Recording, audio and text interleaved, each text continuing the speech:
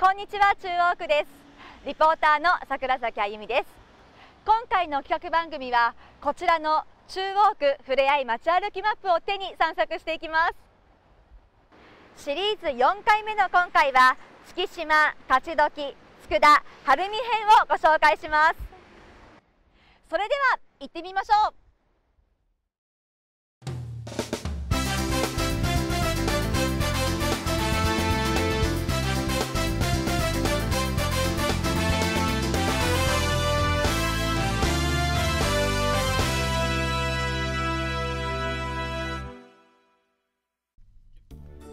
この中央区ふれあい街歩きマップは中央区商店街連合会が昨年行った60周年記念事業の一環として発行した観光マップ。中央区を6つのエリアに分けて全部で6種類あります。越津市の高橋美恵さんが描いたオリジナルのイラストが見どころを分かりやすく解説してとっても見やすいですよね。中央区役所7階商工観光課京橋プラザ3階にある中央区観光協会そして一部の駅などで配布されていますのでぜひ手に取ってみてくださいね。そして今回紹介するのはご覧の月島勝どき佃晴海編です。このエリアは中央区の中で東京湾に最も近く江戸時代に造成された佃島や明治以降の埋め立てによって誕生した月島勝どき晴海があり中央区の中でも新しい町です。再開発が進み超高層マンションが立ち並ぶなど人口増加も著しい地域であるものの昭和の面影を残す路地が現在もあり下町の味も健在です。さあ今回もこのマップを片手に街歩きを楽しみたいと思います。まず最初に訪れたのは晴海運河にかかります相生橋です。もうこちらにはですねこの運河沿いに石川島公園も見えまして本当にいい眺めですよね。相生橋からもんじゃ焼きで有名な月島方面へ。こちらの街歩きマップにも載ってます。このもんじゃストリートというだけあってもうたんのもんじゃ焼き屋さんが並んでますよね。もうねいい香りが漂っているんですよね、まあ、このもんじゃ焼きはもう全国的にも有名だと思うんですが早速ねいただいていきたいと思うんですけれどもその前にこちらの街歩きマップにも紹介されています名物があるんです。こちらです。それはこちらのレバーフライです。昭和初期安くて栄養のある豚のレバーを油で揚げて屋台で売り出したのが始まりと言われています。うんうんうん柔らかい。もうソースのいい香りがしてきますしレバー。美味しい。あの全然臭みがないんですよ。とっても食べやすいんです。月島周辺では専門店やお肉屋さんで買うことができます。街歩きのお供にいかがでしょうか？そして月島といえばやはりもんじゃ焼き。月島もんじゃ振興会協同組合にはおよそ60店舗のお店が加盟していて月島西中通り沿いにはたくさんのもんじゃ焼きのお店が並んでいます。今回は昭和29年に月島で最初にもんじゃ焼きのお店をオープンした吉宮の店主で月島もんじゃ振興会協同組合の理事長をしている村田さんにお話を伺いました。月島といえばやはりもんじゃ焼きじゃないですか、はい、もんじゃ焼きがこう誕生したっていうのはどういうこうルーツなんですかね？もんじゃ焼きはもともとですね、はい、子供のまあおやつというかね、あのー、まあ昔で言うと鉄板で、えー、文字を書いて、はい、あ文字を書いて、ね、それで文字を書いてこう覚えるとおやつとして食べるというのがあの始まりみたいですね。はい、ですから、えー、もも文字って書いてね昔は文字って。あ、はい、で今でもお経の本を見るとあひらがなで文字っていう。それをまあ10回ぐらい言うともんじゃになっちゃうなるほど。文字焼きもんじ焼きがなまってもんじゃ焼きになったんですね。もんじゃ焼きの歴史を学んだところで美味しいもんじゃ焼きをいただきましょう。桜崎さんどうやらもんじゃ焼きの作り方を教えてもらうみたいですよ。ではですね焼き方をちょっと教えていただきたいんですけれども、はい、それじゃあ、はい、はい、まず火をこうやってね、はい、えー、手で、えー、鉄板の厚さを確認し油を薄くまんべんなく引いたら。丼、を平行にして具だけを出す。5回5回なるほど。いい音ですね。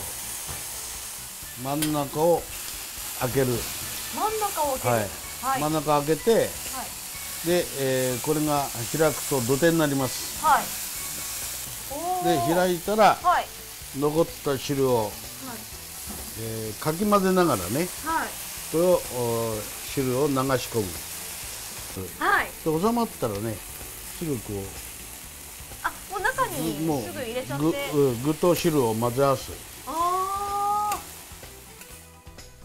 しっかり混ぜたら平らに広げ青のりを振りかけて1分ほど待ちますのもんじゃ焼きを作るにあたってのズバリ極意があれば教えてください。時の流れであの自然体でやるのが一番いい。あえてガチャガチャガチャガチャやらない方がいい。そうなんですね、うん、あのかやっても軽くやる程度。極意を教えてもらったところで早速いただきましょう。もうそのままはい。おお、うん、美味しそうです、はい、いいですか？では早速いただきたいと思います、暑いですからね。はい。気をつけてください。特製塩だれもんじゃいただきます。うん、いい香り。いきます。うん。あこれ。うん。美味しい。シンプルなんですけど、うま、みが具材の味がそっくりそのまま出るんです。作って楽しい食べて美味しい月島のもんじゃ焼き。皆さんもマップ片手にぜひお越しください。さてふれあい街歩きマップでは中央区商店街連合会に所属している商店街も紹介されています。地域に根ざした商店街を歩けばその街をより深く知ることができますよね。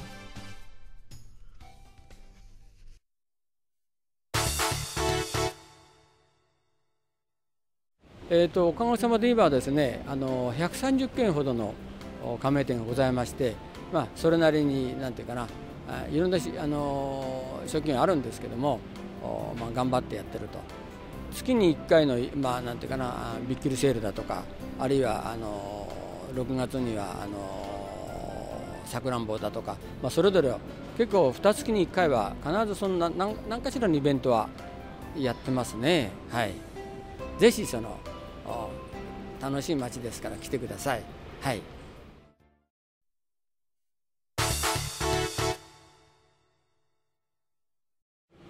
私たちのお店って言いますかね、えー、60何店あるんですけども、まあ、それなりに特徴を持ってまして、まあ、飲み屋さんで言えばあの家庭的なお店って言いますかそういう意味ではあのリピーターの方も結構いるんですねそういういいところをあの見ていただくって言いますか？分かっていただいたお客様にはあの本当に何回も来ていただけるという特徴がありますね。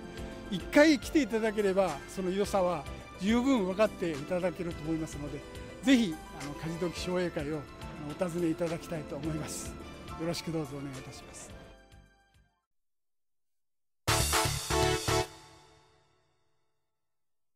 地域の再開発でこのビルに入りましてまあ、17年目になるんですけど、まあ、特徴としては、まあ、勝どき駅直結のお店で、えー、お見えになるのも来やすく楽なところだと思ってますが今42、3軒物販さん飲食店スーパーなどが入りまして、まあ、いろんな店もありますのでぜひ皆さんいらしてください。よろしくお願いいたします。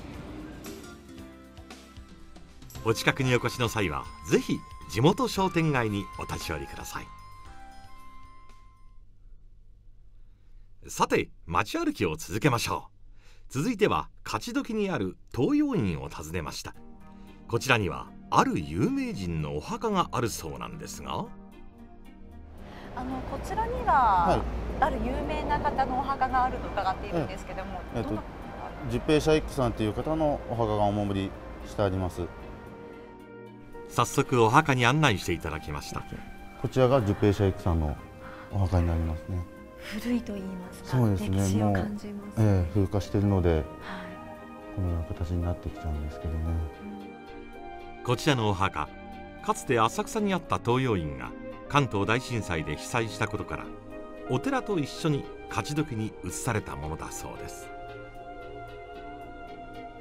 墓石には「この世場ドリやおいとまに線香の煙とともにはいさようなら」とシャレの効いた一句の時世の句が刻まれています。さて街歩きの途中でこちらのホットプラザ晴海で一息ついてみてはいかがでしょうか。温浴施設では温水浴や流水浴が楽しめます。ジャグジー付きのテラスからの眺めも最高です。一方こちらは晴海客船ターミナル。展望台からの眺めも抜群です。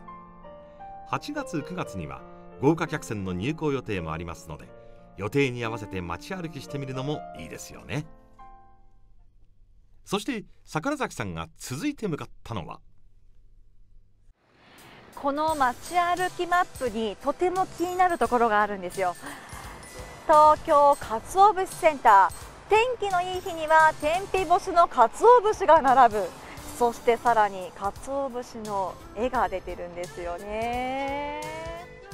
マップを確かめに早速その場所に向かうことに。いやもう先ほどから本当いい香りが漂っているんですけれどもあのこちらはどういった場所になるんでしょうか？あのねここはもう単純にかつ節屋さんの問屋の集まりなんですよ。ですか、ええ。ですから逆に言うともうこのビル全体があのかつ節屋の問屋以外は何も入ってません。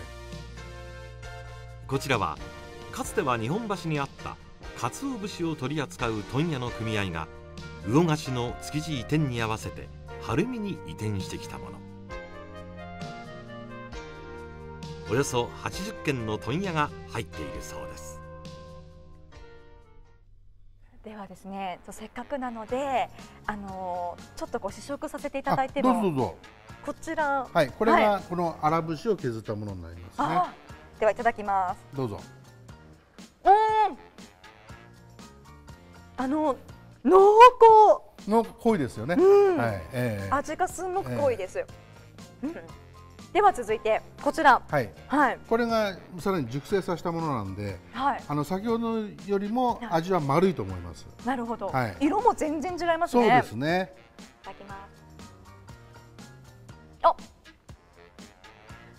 とっても柔らかくて。そうですね。うん。はい。あの先ほどのは本当に濃い味だったんですけれどもあのー口にこうふわっとひら広がるね。んなお味ですね、ええあのここまで鰹節をこう食べ比べたことがないのでそうですね。ですから割と、あのこういったものをいろんな形でそのブレンドをすることによってプロの方たちっていうのはそのお店そのお店の味を出していくわけですよ。自分のところの味を作るんで必死ですから、それこそやっぱりあの真剣にそういうことをはっきり言って言いますのでそれに応えるべく我々はそれを吟味してお持ちするっていう形になりますよね。え素晴らしいですね、なんかもっと大切にありがたく食べなきゃなって改めて思いまえした。もうそうしていただけると本当に嬉しいですね。は和食に欠かせない鰹節。組合の皆さんが一手間かけることで美味しくいただけるんですね今回はこちらの中央区ふれあい街歩きマップを見ながら月島、勝どき、佃、晴海を歩いてきました。魅力的なところがたくさんありましたよね。ぜひ皆さんもこちらのマップを手にお出かけしてみてはいかがでしょうか。それでは